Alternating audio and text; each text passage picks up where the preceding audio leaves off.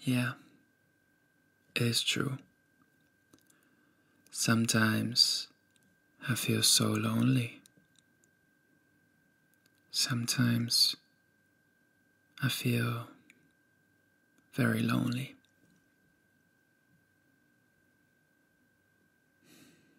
And I don't know why. Why is that? I mean, I realize even if I go out traveling with friends or even family members, I still feel lonely. I feel in solitude. And yes, I mastered to deal with that and being in solitude. I know how to deal with all that and still making myself smile and being in a way happy, but there is something missing deep inside of my heart.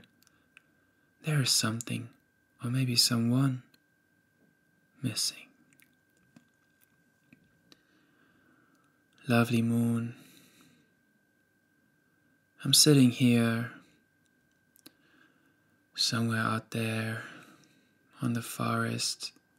Today's it's so quiet and it feels like the world just stands still. I see the stars. I see you. Your beautiful moon vividly close to me.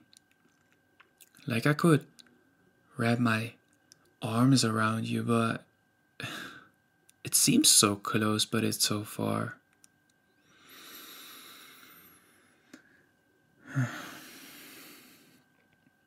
You know, lovely moon, I try my best to be a good human being. I try to give and give and give unconditionally without expecting anything in return.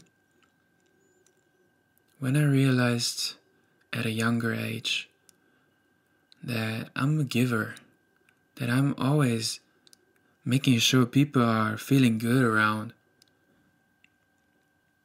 making them smile, happy, doing some jokes. I am usually the one that is always lighting up the room, but what I realize is while I make other people happy, I look at myself and I'm like, wow. Am I just here to make others happy?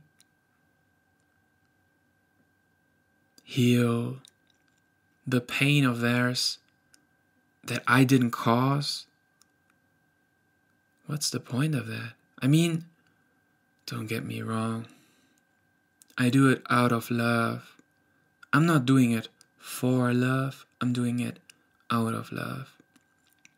Because I'm just like that kind of man that is truly into blessing others. I feel really, really good when I bless other people.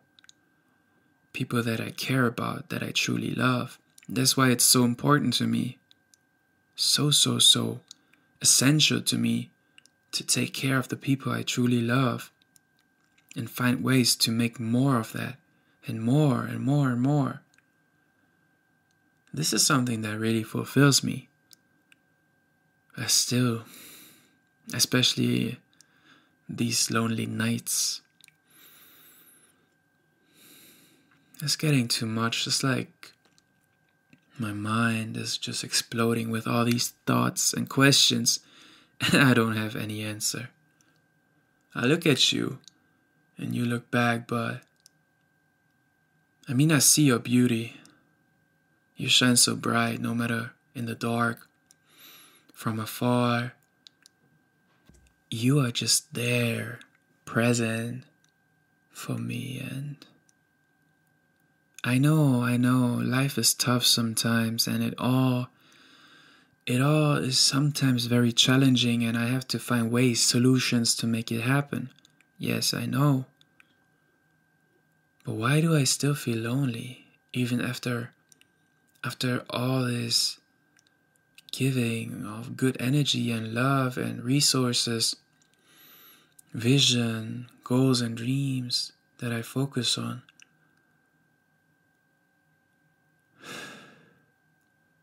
Why do I feel like that? It's always getting to the point that I'm like dreaming of this one specific girl somewhere out there. Somewhere out there, I believe she is.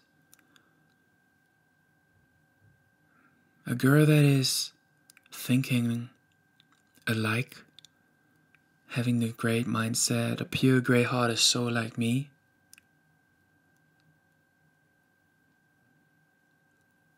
Yeah, I met I met a lot of girls throughout the years, but it was never never my intention to get into a relationship with any of them. Why? I will tell you, lovely moon. Because I didn't feel that there is a future when I looked into their eyes. So I kept it always as a friendship or what you say, uh, people that you get to know for a bit and then you you move on and you don't see them anymore. Yeah, just like that. So I knew from the beginning on of my life, since I was able to really think, that I will be patient for the right one. Because I want to give her my love, only her, to make sure that she knows she's special to me and that I'm willing to wait patiently. And while I am patient, I am working on my goals and dreams and on myself the most to make my mindset really, really high value, to grow my personality yeah, my body, of course, working on my physics. I know in the past few years ago, I was obese, spending time with wrong people that were drinking too much or uh, eating a lot of fast food, stuff like that, uncontrollably. And I learned from that that environment is key. To spend time with the right people is better than to spend time with people that have no goals in life at all. And luckily, I got really, really quick out there. So, yes, since then, I'm, I'm basically isolating myself and working on my goals and dreams day in and day out. One question, lovely moon. How long will it take for me to meet this beautiful girl that I'm visualizing? A girl that has these values of high quality, that is caring and respectful and loyal. I mean, does she even exist nowadays in this society this broken society.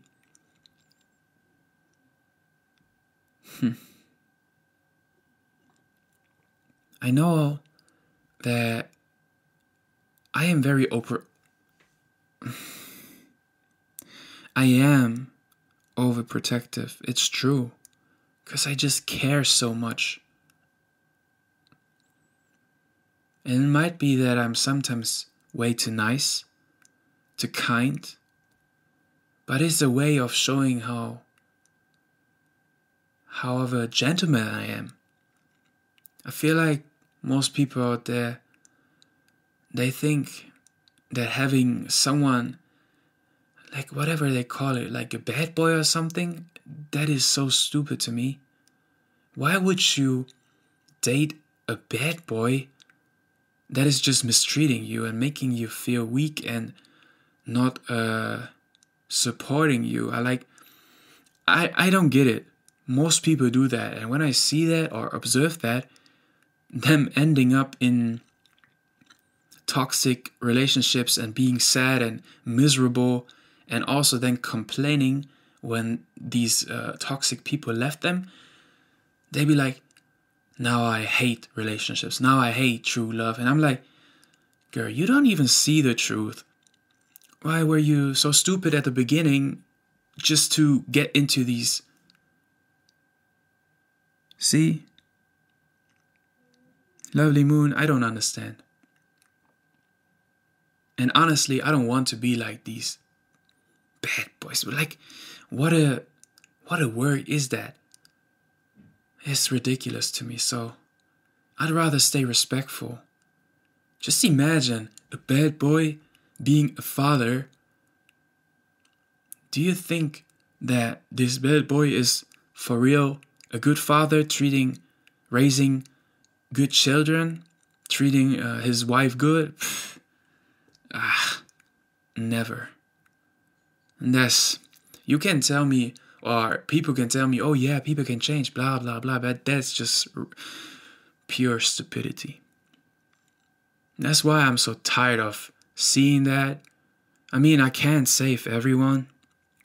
I can't talk to every every human being out there to uh, in personal ways to uh, tell them yeah not to make the stupid decisions to whatever fall in love with a pretty face instead of a pretty heart and soul it doesn't make sense to me so in a way throughout the time i realized i'd rather stay really really single until i meet the right one instead of playing around. Because i don't want to play around. I never i've never been the type of that.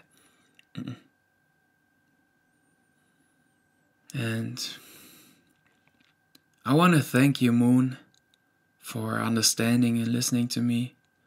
I mean, you're not really, really talking back to me, but just your presence is helping me and giving me some directions, I guess. But some things are really, really upsetting me for sure. But I promised you that I just focus on the things that I can control. And all these other things and people, whatever, I don't care. I used to care too much, but this was basically just distracting me from my own purpose, my own way, my missions. So that's why I decided while I am being patient, just working on myself and creating something valuable to the world. Maybe doing some YouTube channel where I create a safe place to provide love and appreciation and give value as well so people can learn and the right ones will listen to that. I mean, even if no one would listen to me, I knew that I do something good and valuable, so I know I do my part and I'm keep being faithful. Yeah, in God, of course, in the universe, and basically everything godly and holy. But yeah, I guess I gotta go home now. I mean, no one is home. I'm all by myself. But I feel like I gotta go home and create something and write some things down to create more value and help more people, the right ones that deserve it. And this girl that I'm talking about and thinking about all day,